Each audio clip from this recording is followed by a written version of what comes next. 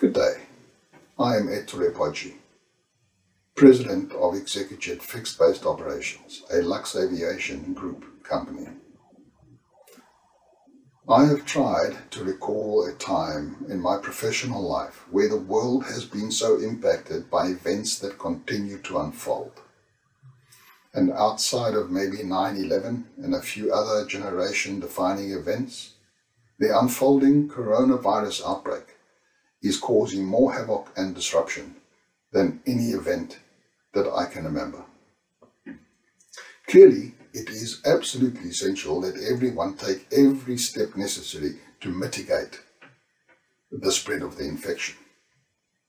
Yet, the impact on the global economy is already expected to reach unprecedented levels.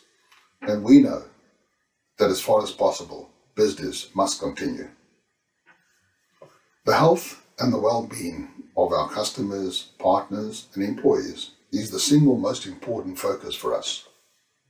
And some weeks ago already, we started to implement measures to act in your best interest and to deliver on this critical objective across our entire global FBO network. Additional and stringent procedures were put in place. Sanitizers, gloves and masks were made available, all of which have been assured continuous supply by our suppliers. And strict procedures have been put in place such as touch point sanitizing of all surfaces in our facilities after each flight and each shift change. There has been a barrage of information and unfortunately misinformation coming from all sorts of quarters and we understand that we all wish business activities to continue as close to normal as possible.